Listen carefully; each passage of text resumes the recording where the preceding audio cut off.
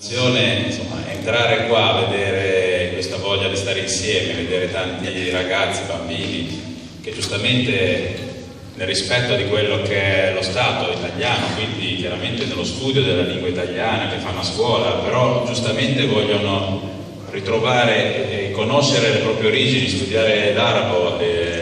capire tante cose, chiaramente la religione credo che sia un messaggio proprio importante per la città. Qua noi siamo entrati in piena trasparenza e credo che anche per voi tutti la possibilità di far capire che siete voi i primi che volete eh, chiarezza, trasparenza sia un segnale fondamentale. Albenga è una gran bella città,